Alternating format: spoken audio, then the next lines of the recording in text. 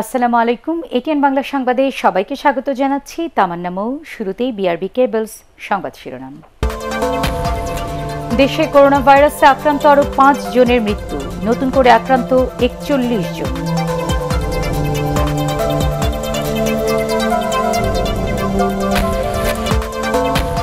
চলতি মাসে দেশে করোনার প্রকোপ বাড়তে পারে, আশঙ্কা প্রধানমন্ত্রীর। দায়িত্ব পালনে চিকিৎসকদের পুরস্কার, অবহেলায় শাস্তি।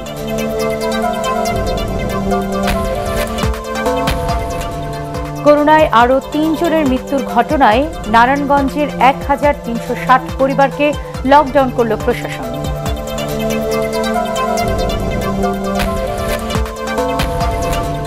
এবং বঙ্গ গ্রেফতারের পর কারাগারে বঙ্গবন্ধু হত্যা মামলার মৃত্যুদণ্ডপ্রাপ্ত পলাতক আসামি আব্দুল মাজেদ।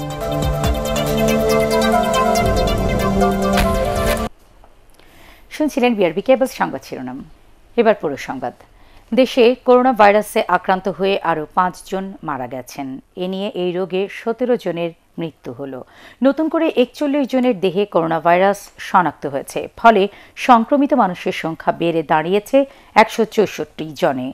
রোগতত্ত্ব রোগ নিয়ন্ত্রণ ও গবেষণা ইনস্টিটিউট আইইডিসিআর এর অনলাইন ব্রিফিংয়ে এসব তথ্য জানানো হয়। রাসনা দাসের রিপোর্ট। দেশে করোনা আক্রান্তের সংখ্যা বাড়ছে লাফিয়ে লাফিয়ে। গত রবিবার আঠেরো জনের দেহে করোনা শনাক্ত হয়। পরদিন এই সংখ্যা প্রায় দ্বিগুণ বেড়ে পঁয়ত্রিশ জনে দাঁড়ায়। আর মঙ্গলবার এই সংখ্যা পৌঁছায় সর্বোচ্চ একচল্লিশ জনে। আইইডিসিআর এর অনলাইন স্বাস্থ্য বুলেটিনে জানানো হয়, নতুন শনাক্তদের মধ্যে রাজধানীতে আক্রান্তের সংখ্যা সবচেয়ে বেশি বিশ জন, বাকি পনেরো জন নারায়ণগঞ্জের। এদের বয়স সর্বনিম্ন দশ এবং সর্বোচ্চ ষাটোর্ধ চব্বিশ ঘন্টায় মোট শনাক্ত হয়েছেন যাদের মধ্যে এই কোভিড উনিশের সংক্রমণ রয়েছে এরকম সংখ্যা একচল্লিশ। সর্বমোট এ পর্যন্ত, আটই মার্চের পর থেকে এ পর্যন্ত মোট সংক্রমিত ব্যক্তির সংখ্যা একশো চৌষট্টি। গত চব্বিশ ঘন্টায় মৃত্যুবরণ করেছেন আরও পাঁচজন, যাদের মধ্যে কোভিড উনিশের সংক্রমণ পাওয়া গিয়েছে। নিশ্চিত করা গিয়েছে যে তাদের মধ্যে কোভিড উনিশের সংক্রমণ রয়েছে। সর্বমোট মৃত্যুর সংখ্যা সতেরো। এ সময় স্বাস্থ্য অধিদপ্তরের মহাপরিচালক জানান করোনা ভাইরাস শনাক্ত করতে দেশে গত চব্বিশ ঘন্টায় মোট সাতশো বিরানব্বই জনের নমুনা পরীক্ষা করা হয়েছে। এছাড়াও দেশে সাড়ে সাত হাজারেরও বেশি আইসোলেশন বেড প্রস্তুত করা হয়েছে। সর্বমোট আইসোলেশন শয্যার সংখ্যা সাত হাজার ছয়শো তিরানব্বই। এইসব আইসোলেশন হাসপাতালে আইসিইউ বেডের সংখ্যা এখন পর্যন্ত একশো বারো এবং ডায়ালাইসিস বেডের সংখ্যা চল্লিশ। আমরা আইসিইউ বেডের সংখ্যা আরও বাড়ানোর চেষ্টা করছি। দুপুরে অন্য এক অনুষ্ঠানে স্বাস্থ্যমন্ত্রী জাহিদ মালিক করোনা ভাইরাস মোকাবেলায় নমুনা পরীক্ষার বিকল্প নেই বলে মন্তব্য করেন। পর্যায়ে কর্মকর্তাদেরকে আমি বলব যে আপনারা এখন আপনাদের দায়িত্বটা করেন। দেশের সব জেলা হাসপাতালগুলোতে চিকিৎসা সামগ্রী সরবরাহ করা হচ্ছে বলেও জানান মন্ত্রী। রাসনা দাস এটিএন বাংলা, ঢাকা। চলতি মাসে দেশে করোনার প্রকোপ বাড়তে পারে বলে আশঙ্কা প্রকাশ করেছেন প্রধানমন্ত্রী শেখ হাসিনা। এজন্য সামাজিক সুরক্ষার বাইরে থাকা ব্যক্তিদের তালিকা করে ঘরে ঘরে খাবার পৌঁছে দিতে প্রশাসনের কর্মকর্তাদের নির্দেশ দিয়েছেন তিনি। গণভবন থেকে ভিডিও কনফারেন্সের মাধ্যমে চট্টগ্রাম ও সিলেট বিভাগের বিভিন্ন জেলার কর্মকর্তা, জনপ্রতিনিধি ও সামরিক বাহিনীর কর্মকর্তাদের সাথে করোনা ভাইরাস মোকাবেলায় সরকারের প্রস্তুতির খোঁজ খবর নিতে গিয়ে প্রধানমন্ত্রী এসব কথা বলেন। তিনি আরও বলেন, এই সময়ে হাসপাতালে চিকিৎসা না পাওয়াটা দুঃখজনক। চিকিৎসকদের উদ্দেশ্যে প্রধানমন্ত্রী বলেন, যারা সংকটকালে স্বাস্থ্যসেবা দিচ্ছেন, তারা পুরস্কৃত হবেন। বাকিদের বিরুদ্ধে কঠোর ব্যবস্থা নেওয়া হবে, জানাচ্ছেন নিয়াজামান সজীব। করোনা ভাইরাসের কারণে আজকে সবকিছু স্থবির। করোনা ভাইরাসের সংকটকালীন সময়ে মাঠ পর্যায়ে সরকারের পক্ষ থেকে নেওয়া পদক্ষেপের কতটা বাস্তবায়ন হয়েছে তা জানতে গণভবন থেকে এই ভিডিও কনফারেন্স করেন প্রধানমন্ত্রী। যারা মারা গেছেন তাদের ডায়াবেটিস ছিল হার্টের অসুখ ছিল। চট্টগ্রাম ও সিলেট বিভাগের বিভিন্ন জেলার সাথে কথা বলেন প্রধানমন্ত্রী। এ সময় তিনি বলেন এপ্রিল মাসে করোনা ভাইরাসের প্রাদুর্ভাব বাড়তে পারে। তাই সবাইকে সরকারের নির্দেশনা মেনে চলার আহ্বান জানান তিনি। এপ্রিল মাসটা আমাদের জন্য খুবই একটা দুঃসময়ের মাস আসছে এটা সব জায়গা থেকে আসে খবর পাচ্ছি। কাজে কারও যদি মধ্যে এতটুকু মানে করোনা ভাইরাসের অসুস্থতা দেখা দেয়, দয়া করে তিনি সঙ্গে সঙ্গে খবর দেবেন। তার চিকিৎসার ব্যবস্থা যথাযথ আছে। আমরা প্রচুর চিকিৎসার ব্যবস্থা করে রেখেছি।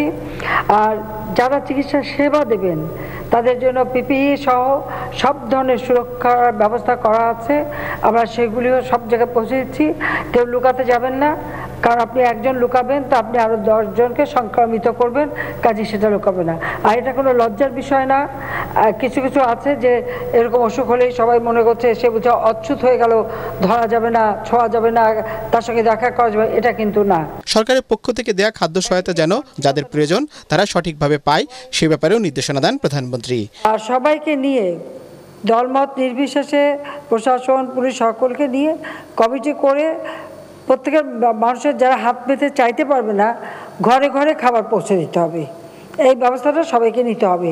প্রত্যেকটা উপজেলা ভিত্তিক এবং উপজেলার একবার উপজেলা থেকে ইউনিয়ন ইউনিয়ন থেকে ওয়ার্ড পর্যায় পর্যন্ত কমিটি করে সেই ব্যবস্থাটা যাতে হয় সেটা দেখতে হবে, সেটা করতে হবে। করলে পরে তাহলে আর মানুষের কষ্টটা থাকবে না। এই সংকটকালীন সময়ে যেসব সরকারি চিকিৎসক নার্স কর্মকর্তা আইন শৃঙ্খলা বাহিনীর সদস্যরা মানুষকে সেবা দিচ্ছেন তাদের জন্য বিশেষ বিমা সুবিধার ঘোষণাও দেন প্রধানমন্ত্রী। যেসব চিকিৎসক রোগীদের সেবা দিচ্ছেন না তাদের ব্যাপারে সরকারের কঠোর মনোভাবের কথাও জানান তিনি। শর্ত দিয়ে কাউকে আমি কাজে আনব না।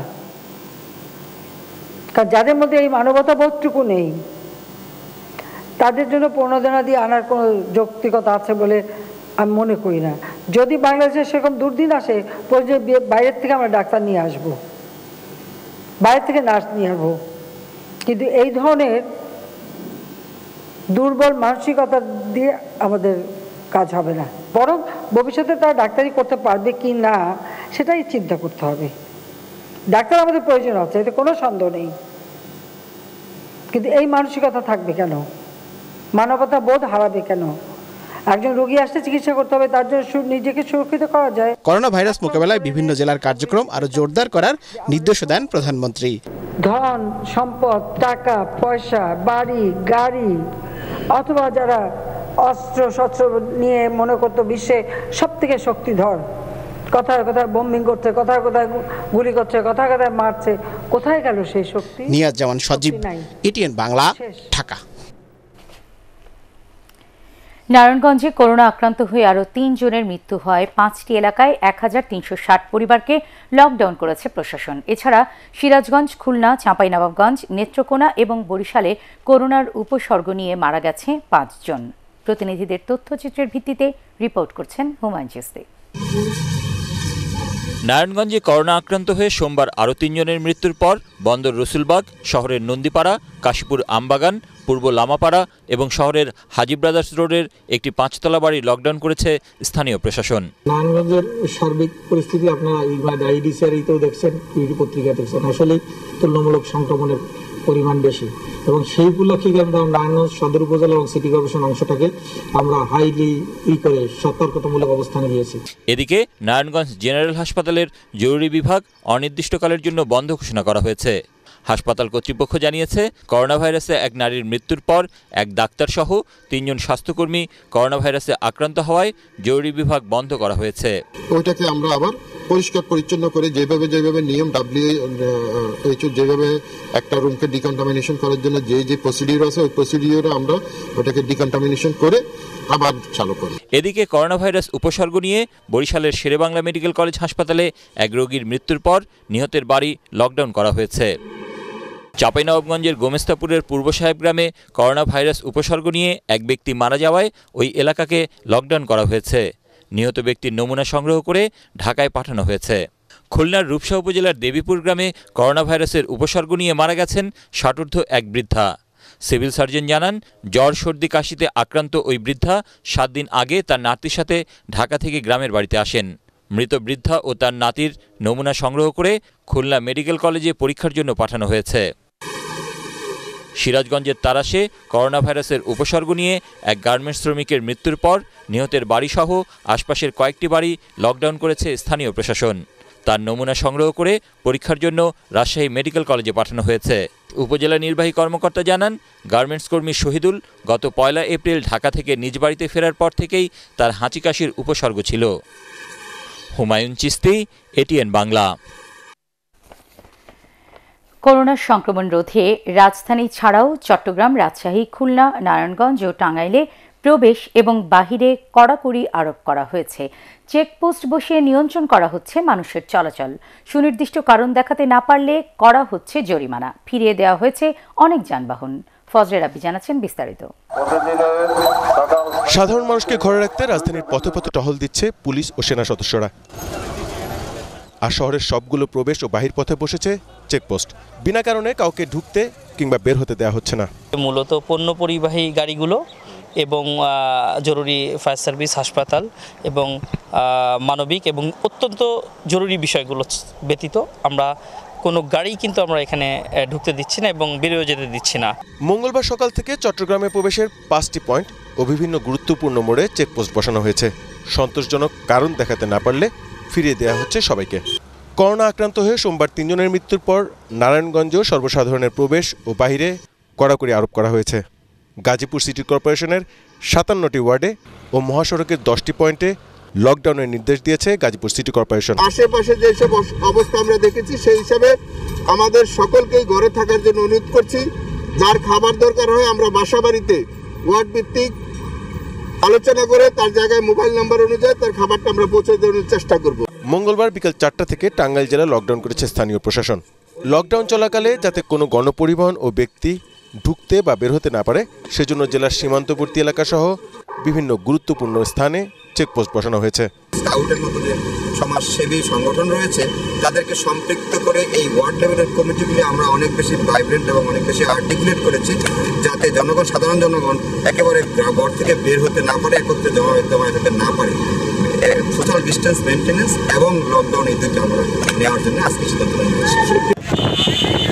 করোনা ভাইরাস সংক্রমণ প্রতিরোধে খুলনা মহানগরীতে যানবাহন প্রবেশ বন্ধ করেছে খুলনা মেট্রোপলিটন পুলিশ। পুলিশের পক্ষ থেকে জানানো হয়েছে, পরবর্তী নির্দেশ না দেওয়া পর্যন্ত জরুরি প্রয়োজন ছাড়া সবার জন্য খুলনা মহানগরী এলাকায় প্রবেশ বন্ধ থাকবে। জরুরি প্রয়োজন ছাড়া রাজশাহী মহানগরীতে কেউ ঢুকতে কিংবা বের হতে পারছে না। ওষুধের দোকান ও জরুরি সেবা ছাড়া সব কিছু বন্ধ রাখতে উদ্যোগ নেওয়া হয়েছে বলে জানিয়েছে রাজশাহী মেট্রোপলিটন পুলিশ।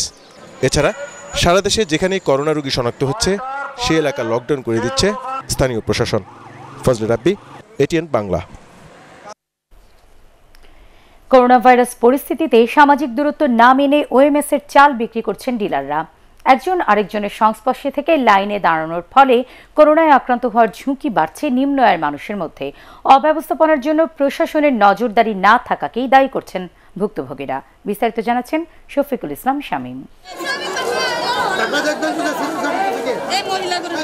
করোনা ভাইরাসে আক্রান্তের সংখ্যা বৃদ্ধি পাওয়ায় রাজধানীতে যখন চলছে লকডাউন তখন ভিন্ন চিত্রও আছে কিছু এলাকায়।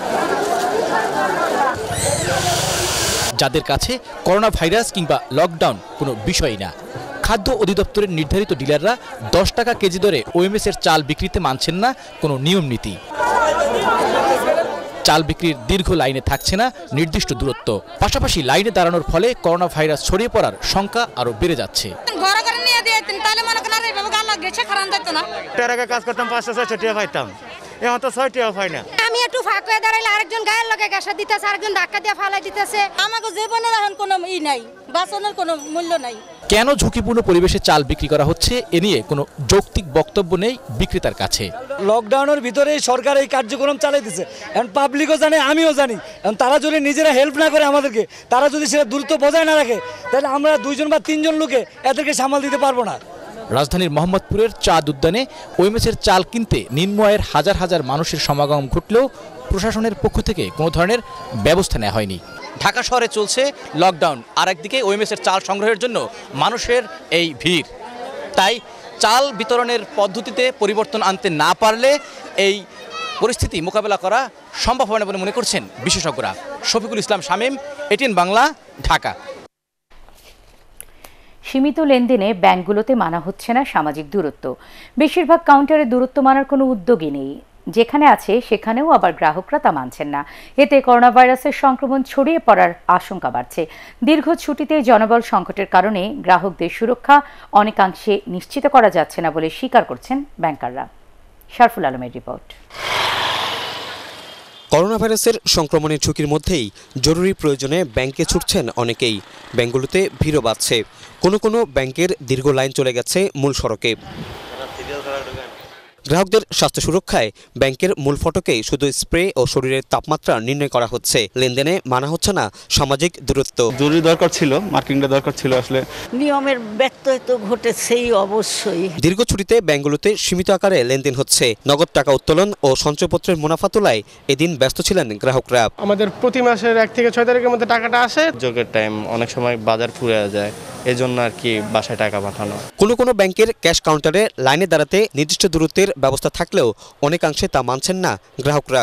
এখানে স্পষ্ট দাগ বোঝা যাচ্ছে না এই জন্য আমরা খেয়াল করতে পারতেছি না। হঠাৎ করে আসছে তো এই জন্য হঠাৎ নিচের দিকে আমরা খেয়াল করি না। লোক বলের এই জরুরিকালীন সেবা দেওয়ার জন্য ঘাটতি থাকার জন্য আমরা ওইভাবে জিনিসটা মনিটর করতে পারছি না। সোশ্যাল ডিস্টেন্সটা বজায় রাখার জন্য আমাদেরকে প্রতিটা কাউন্টারের সামনে আমাদের একজন কর্মকর্তা অথবা কর্মচারীকে এ বিষয়ে নিয়োজিত করতে হবে যাতে কোনো অবস্থাতেই সোশ্যাল ডিস্টেন্সের বিষয়টা ডিস্টার্ব না হয়। ব্যাংকারদের জন্য কাজের কর্মঘণ্টা ও স্বাস্থ্য সুরক্ষা নিশ্চিতে ব্যবস্থা গ্রহণের তাগিদ দেয় বাংলাদেশ ব্যাংক। তবে করোনা ভাইরাসের কারণে গ্রাহকদের স্বাস্থ্য সুরক্ষায় কোনো উদ্যোগ নেই তাদের। শরফুল আলম, এটিএন বাংলা, ঢাকা। করোনা ভাইরাসের কারণে মাধ্যমিকের পর এবার প্রাথমিক স্তরের শিক্ষার্থীদের জন্য শুরু হলো টেলিভিশনের মাধ্যমে বিকল্প পাঠদান কার্যক্রম। লেখাপড়ার ধারাবাহিকতা বজায় রাখতে সংসদ চ্যানেলের মাধ্যমে তৃতীয় থেকে দশম শ্রেণির শিক্ষার্থীদের জন্য এমন উদ্যোগে উপকৃত হচ্ছেন ছাত্রছাত্রীরা। বিস্তারিত আপিল মাহমুদের রিপোর্টে। এই যে খাবারগুলো হজম হওয়ার সময় চুয়াডাঙ্গার ভিক্টোরি জুবিলি স্কুলের সপ্তম শ্রেণির শিক্ষার্থী তাহসিন হাসান। করোনা ভাইরাসের কারণে ঘরে বসেই চলছে তার লেখাপড়া। তার মতো সারা দেশের প্রাথমিক ও মাধ্যমিক স্তরের শিক্ষার্থীদের জন্য শুরু হয়েছে সংসদ টেলিভিশনের মাধ্যমে পাঠদান কার্যক্রম।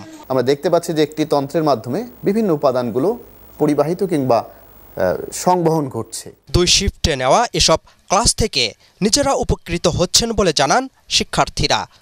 ক্লাসে অংশ নিতে না পারলে টেলিভিশনে পুনর্প্রচার বা ইউটিউবের মাধ্যমেও তা দেখার সুযোগ রয়েছে।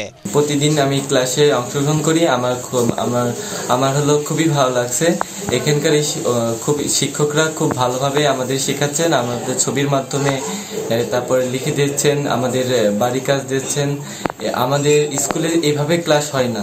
এই ক্লাস করে আমরা খুবই উপকৃত হচ্ছি। আর আমার এসব শিক্ষকরা খুব সুন্দরভাবে আমাদের বুঝিয়ে দিচ্ছেন। তবে পাঠদানে হোয়াইট বোর্ডে অস্পষ্ট লেখা, শিক্ষার্থীদের মনোযোগ ধরে রাখতে পারছে না বলে অভিযোগ অভিভাবকদের। আমার বাচ্চা হোয়াইট বোর্ড হওয়ার কারণে ক্লিয়ারলি দেখতে পাচ্ছে না সেটা। আর দ্বিতীয় হলো ওদের কোনো প্রশ্ন থাকলে টিচারদেরকে ওরা জিজ্ঞাসা করতে পারছে না, ক্লিয়ার হতে পারছে না। এই দুইটার বিষয়ের প্রতি যদি নজর দেওয়া হয়, তাহলে আমার মনে হয় যে প্রতিটা বাচ্চার মানে খুবই উপকার হবে। আগামীতে আরও দক্ষ শিক্ষকদের মাধ্যমে ক্লাস নেওয়া হলে শিক্ষার্থীরা আরও বেশি উপকৃত হবেন বলেও জানান অভিভাবকরা। আপেল মাহমুদ এটিএন বাংলা ঢাকা। মসজিদে মুসল্লিদের না যাওয়ার ব্যাপারে ধর্ম মন্ত্রণালয় থেকে দেওয়া সিদ্ধান্তের প্রতি সমর্থন জানিয়েছে তাবলিগ জামাত বাংলাদেশ। রাজধানীর কাকরাইলের আহলে সুরা হাজরাত ও অন্যান্য সাথীগণ সম্মিলিতভাবে সরকারের এই সিদ্ধান্তের প্রতি সমর্থন জানিয়েছেন। এক প্রেস বিজ্ঞপ্তিতে জানানো হয়, যেসব জামাত এখন মসজিদে রয়েছে, তাদের নিজেদের বাড়িতে ফিরে যেতে বলা হয়েছে। প্রয়োজনে প্রশাসনের সাহায্য নিতে পারেন তারা। হজ নিয়ে এখনও আশাবাদী সৌদি আরব। বাংলাদেশকে সীমিত পরিসরে প্রস্তুতি চালিয়ে যাওয়ার কথা বলেছেন সৌদি হজ মন্ত্রী। এটিএন বাংলাকে এ তথ্য জানিয়েছেন ধর্ম প্রতিমন্ত্রী শেখ আবদুল্লাহ। এজন্য চলছে নিবন্ধন কার্যক্রম। এ পর্যন্ত আটচল্লিশ হাজার মুসল্লি নিবন্ধন করেছেন। শেষ মুহূর্তে হজ অনুষ্ঠিত হলে মুসল্লিদের যাতে পাঠানো যায়, সেই প্রস্তুতি নেওয়া হচ্ছে বলে জানিয়েছে হাব। মাহবুব কবির চপলের রিপোর্ট। করোনা মহামারীতে পর্যদস্ত সৌদি আরবও ছয় এপ্রিল পর্যন্ত দেশটিতে আক্রান্ত আড়াই হাজার মারা গেছেন চৌত্রিশ জন। লকডাউনে গোটা দেশ। এ অবস্থায় হজ হবে কিনা তা নিয়ে সৃষ্টি হয়েছে অনিশ্চয়তা। অবশ্য হজ বাতিলের ঘটনা একেবারে নতুন নয়। সৌদি বাদশাহ Abdul Aziz foundation for research and আর্কাইভের তথ্য বলছে, এ পর্যন্ত চল্লিশ বার হজ বাতিল অথবা সীমিত পরিসরে হয়েছে। সবশেষ আঠারোশো একত্রিশ সালে প্লেগ রোগের কারণে হজ বাতিল হয়। একশো নব্বই বছর পর সেই সংখ্যা দেখা দিয়েছে। যদিও হজের এখনও প্রায় চার মাস বাকি আছে, তাই সৌদি সরকার এ ব্যাপারে আশাবাদী বলে জানিয়েছেন ধর্ম প্রতিমন্ত্রী। বাতিল সম্পর্কে তারা বলে নাই। সৌদি মিনিস্ট্রির সাথে, সৌদির সাথে আমি রেগুলার যোগাযোগ রাখতেছি এবং ওদের সাথে আমার একটা ব্যক্তিগত সম্পর্ক আছে। আমাদেরকে বলছে যে your excellency please don't try to make confirm the হাজিজ go slow একটু আস্তে ধীরে। তার তারা যেভাবে বলা যায়, সেভাবেই বলছে। আমিও আমার লোকজনদেরকে বলছি বাট আমাদের কার্যক্রমটা কিন্তু বন্ধ করি নাই। শেষ মুহূর্তে হজ হলে বাংলাদেশ যাতে বঞ্চিত না হয় সেজন্য চলছে নিবন্ধন। এখন পর্যন্ত সরকারিভাবে সাড়ে তিন হাজার আর বেসরকারিভাবে সাড়ে চুয়াল্লিশ হাজার মুসল্লি নিবন্ধন করেছেন। দু হাজার বিশ সালে হজ কার্যক্রম পরিচালনার জন্য প্রস্তুতি সম্পন্ন করে রাখাই আমাদের উদ্দেশ্য। যাতে পরবর্তীতে যদি ইনশাল্লাহ সিদ্ধান্ত হয় যে হজ কার্যক্রম পরিচালিত হবে তাহলে আমরা আমাদের আগ্রহী হজ যাত্রীদেরকে নিয়ে যাতে হজ গমন করতে পারি। যদি যাওয়া না হয়, আমি বারবার বলছি যে আপনাদের টাকারা একটা টাকারও আর্থিক ক্ষতি হবে না। অবশ্যই ইনশাল্লাহ আপনারা টাকা ফেরত পাবেন। তবে যারা বেসরকারিভাবে হজে এজেন্সির মাধ্যমে টাকা দিচ্ছেন, তাদের এক লাখ এক পঞ্চাশ হাজার টাকার উপরে যদি কোনো টাকা দেন, সেই টাকার দায় দায়িত্ব কিন্তু আমরা নিতে পারব না। এবছর বাংলাদেশ থেকে এক লাখ সাঁত্রিশ হাজার মুসল্লি হজে যাবার কথা। আর বিভিন্ন দেশ থেকে প্রায় বিশ লাখ মুসল্লি হজের জন্য জড়ো হন সৌদি আরবে। মাহবুব কবির চপল, এটিএন বাংলা, ঢাকা। করোনা ভাইরাসের মহামারী পরিস্থিতিতে হাজার হাজার প্রবাসী বাংলাদেশি বেকার হতে চলেছেন যুক্তরাষ্ট্রে। ফিলাডেলফিয়া থেকে সেখানকার সার্বিক অবস্থা জানাচ্ছেন সরোজ ভট্টাচার্য। সাথে সাথে মৃতের সংখ্যাও বাড়ছে। এই তিন সপ্তাহের লকডাউনে অনেক সেবা খাতি বন্ধ হয়ে গেছে এবং মানুষজন অর্থনৈতিক সংকটে পড়েছে, চাকরি হারিয়েছে এবং বিশেষ করে রেস্টুরেন্ট হোটেলের মতন সেবা খাতে প্রায় আশি শতাংশ লোক লোক তাদের চাকরি হারিয়েছে, যার মধ্যে একটা বড় অংশ বাংলাদেশি। এবং গ্রোসারিগুলো বাংলাদেশি গ্রোসারিগুলো বেশিরভাগে বাংলাদেশি বা ইন্ডিয়ান গ্রোসারিগুলো বেশিরভাগই বন্ধ হয়ে গেছে এবং বিশেষ ব্যবস্থায় অল্প সময়ের জন্য কিছু কিছু খুলছে। এবং বাংলাদেশি কমিউনিটির একটা অংশ যারা বিভিন্ন বিশ্ববিদ্যালয়ে পড়াশোনা করছেন, তারা ঘরে বসেই কাজ করছেন এবং সার্বিকভাবেই এই বাংলাদেশি কমিউনিটি দেশের জন্য এবং দেশের পরিস্থিতি চিন্তা করে বেশ সংখ্যার মধ্যে আছেন। এবং যারা সেবা খাতগুলো চিকিৎসা সেবা খাতগুলোতে কাজ করছেন ডাক্তার নার্স তারা এই পবিত্র শবে বরাত উপলক্ষে বাংলাদেশ সহ বিশ্বের সব মুসলমান ও মানব জাতির করোনা ভাইরাসের প্রাদুর্ভাব থেকে মুক্তি পেতে আগামী বৃহস্পতিবার রাত সাড়ে দশটায় এটিএন বাংলার বিশেষ দোয়া ও মোনাজাতের আয়োজন করা হয়েছে। এটিএন বাংলা স্টুডিও থেকে সরাসরি সম্প্রচারিত এই দোয়া ও মোনাজাতে নিজ বাসা থেকে অংশ নিতে সবাইকে বিশেষভাবে অনুরোধ করা হচ্ছে। এটিএন নিউজও এই বিশেষ মোনাজাত সরাসরি সম্প্রচার করবে। বঙ্গবন্ধু হত্যা মামলার মৃত্যুদণ্ডপ্রাপ্ত পলাতক আসামি বরখাস্তকৃত ক্যাপ্টেন আব্দুল মাজেদকে কারাগারে পাঠিয়েছেন আদালত। রাষ্ট্রপক্ষের আইনজীবী জানিয়েছেন, আব্দুল মাজেদ রাষ্ট্রপতির কাছে প্রাণ ভিক্ষা চাইতে পারবেন, তবে আপিলের কোনো সুযোগ নেই। ভোরে রাজধানীর মিরপুর থেকে তাকে গ্রেফতার করে পুলিশের counter terrorism and transnational crime unit. বিস্তারিত শফিউল আলম সুজনের রিপোর্টে। জাতির জনক বঙ্গবন্ধু শেখ মুজিবুর রহমানের আত্মস্বীকৃত ও মৃত্যুদণ্ডপ্রাপ্ত খুনি সেনাবাহিনীর বরখাস্ত ক্যাপ্টেন আব্দুল মাজেদ। দীর্ঘ ২২ বছর বিদেশে পালিয়ে থাকার পর সোমবার ভোরে রাজধানীর মিরপুর এলাকা থেকে তাকে গ্রেফতার করে পুলিশ। দুপুরে তাকে ঢাকার মুখ্য মহানগর হাকিম আদালতে তোলা হয়। মৃত্যুদণ্ডপ্রাপ্ত আসামি হওয়ায় কোনো প্রকার শুনানি ছাড়াই তাকে কারাগারে পাঠানোর নির্দেশ দেন আদালত। আদালত তাকে মৃত্যুদণ্ডে দণ্ডিত করেছে। সেই আদালতে আজকের এই মামলার খণ্ডনীতি চলে যাবে।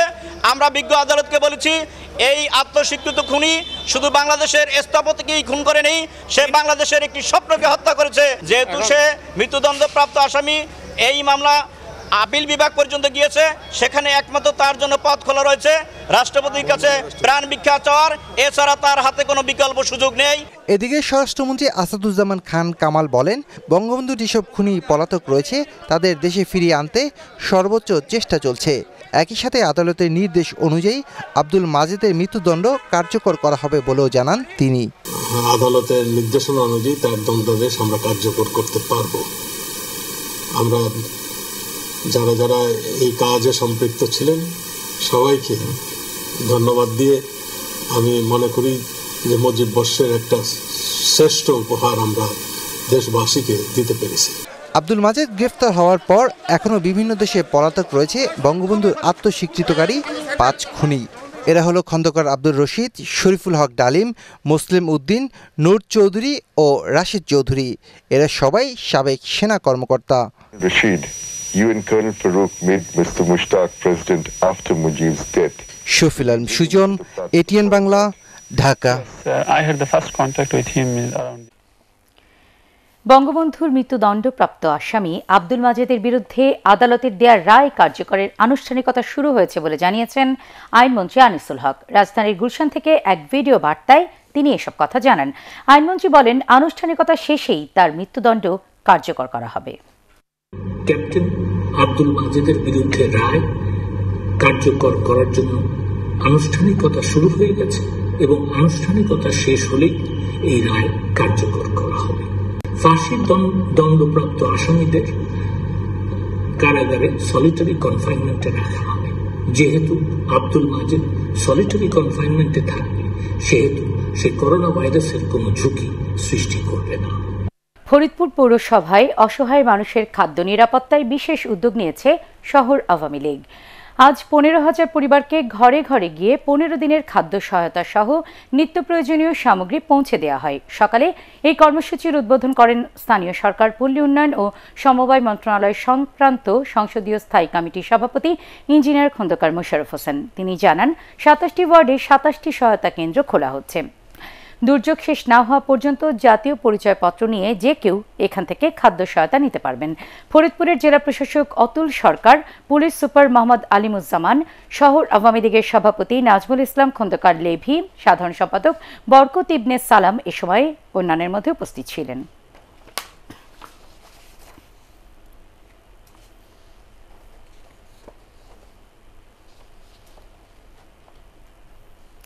দিনাজপুরে এক হাজার অসহায় দরিদ্র ও শ্রমজীবী পরিবারের মধ্যে চাল ও ডাল সহ খাদ্য সামগ্রী বিতরণ করেছেন জাতীয় সংসদের হুইপ ইকবালুর রহিম। দিনাজপুর জেলা সড়ক পরিবহন মালিক গ্রুপের সহযোগিতায় দিনাজপুর বাস টার্মিনাল চত্বরে এসব খাদ্য সামগ্রী বিতরণ করা হয়। এ সময় করোনা ভাইরাস সংক্রমণ প্রতিরোধে সবাইকে ঘরে থাকার আহ্বান জানান ইকবালুর রহিম।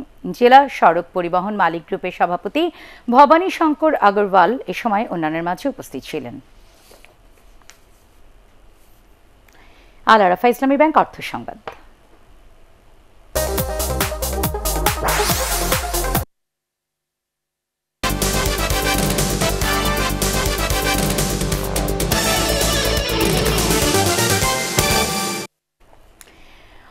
আলোক হেলথ কেয়ার অ্যান্ড হাসপাতাল লিমিটেডের ব্যবস্থাপনা পরিচালক লোকমান হোসেন তার নিজ এলাকা টাঙ্গাইলের ঘাটাইলে করোনা ভাইরাসের প্রাদুর্ভাবের কারণে চোদ্দটি ইউনিয়নের প্রায় দেড় হাজার দরিদ্র পরিবারের মধ্যে ত্রাণ বিতরণ ও বিনামূল্যে স্বাস্থ্য সেবা প্রদান করেছেন।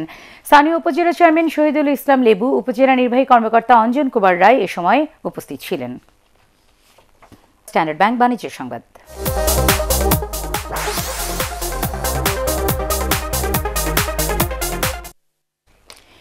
করোনা ভাইরাস সংকটে ক্ষতিগ্রস্ত নিম্ন আয়ের মানুষের মধ্যে খাদ্য সামগ্রী বিতরণ করেছে Zahir steel and re rolling mills limited.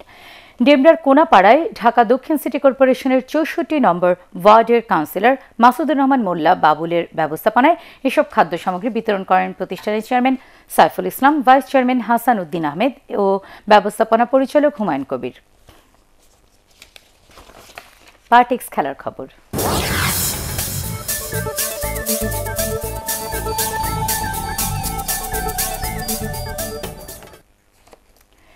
Bangladesh football ফেডারেশনের কর্মকর্তাদের সুস্বাস্থ্য কামনা করেছেন ফিফা সভাপতি জিয়ান্নি ইনফান্তিনো। সন্ধ্যায় তিনি বাফুফের কর্মকর্তাদের কাছে ফোন করে তাদের সুস্থতা কামনা করেন বলে জানিয়েছেন বাফুফের মিডিয়া কমিটির প্রধান আসান আহমেদ অমিত। এ সময় দেশের করোনা ভাইরাস পরিস্থিতি সম্পর্কে জানতে চান জিয়ান্নি ইনফান্তিনো। তিনি সবাইকে সাবধানে থাকার পরামর্শ দেন আর দ্রুতই এই মহামারী থেকে রক্ষা পাওয়া যাবে বলে আশাবাদ ব্যক্ত করেন ফিফা সভাপতি। করোনা ভাইরাসের মহামারীর মধ্যেই সুসংবাদ পেলেন বাংলাদেশের দুই তারকা ক্রিকেটার। দ্বিতীয়বার বাবা হয়েছেন বাংলাদেশের টি টোয়েন্টি দলের অধিনায়ক মাহমুদুল্লাহ রিয়াদ। আর দ্বিতীয়বারের মতো বাবা হতে যাচ্ছেন সাবেক বাংলাদেশ অধিনায়ক সাকিব আল হাসান। দুজনই সামাজিক যোগাযোগ মাধ্যমে বিষয়টি জানিয়েছেন। ইনস্টাগ্রামে নবজাতকের পোশাক ধরা পাঁচ বছরের মেয়ে অ্যালাইনা হাসানের একটি ছবি পোস্ট করে সাকিব লেখেন, বিগ সিস্টারহুড। বাহাতি অলরাউন্ডার এই মুহূর্তে স্ত্রী সন্তানের সঙ্গে যুক্তরাষ্ট্রে আছেন। এদিকে মাহমুদুল্লাহ রিয়াদ আবারও ছেলে সন্তানের বাবা হয়েছেন। এই আনন্দ সংবাদ তিনি ফেসবুকে দিয়েছেন। মাহমুদুল্লাহর স্ত্রী ও সন্তান সুস্থ রয়েছেন। শেষ করার আগে বিআরবি কেবল সংবাদ শিরোনাম আরও একবার।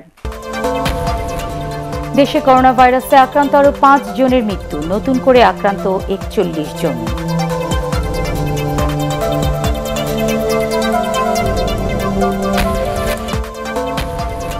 চলতি মাসে দেশে করোনার প্রকোপ বাড়তে পারে আশঙ্কা প্রধানমন্ত্রীর।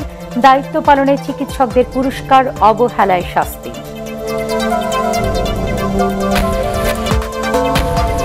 করোনায় আরও তিনজনের মৃত্যুর ঘটনায় নারায়ণগঞ্জে এক হাজার তিনশো ষাট পরিবারকে লকডাউন করল প্রশাসন।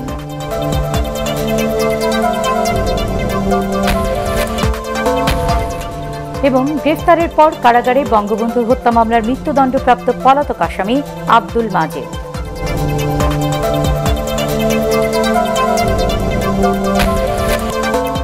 পরবর্তী সংবাদ দেখার আমন্ত্রণ জানিয়ে এখনকার মতো শেষ করছি। সবাই ঘরে থাকুন, নিরাপদে থাকুন এটিএন বাংলার সাথে থাকুন। এটিএন বাংলার সংবাদ ইউটিউবে দেখতে ব্রাউজ করুন YouTube slash ATN Bangla news আল্লাহ হাফেজ।